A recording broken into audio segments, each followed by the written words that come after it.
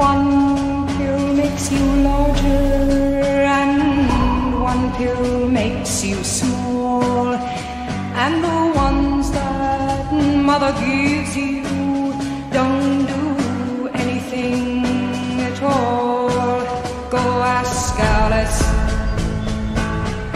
when she's ten feet tall.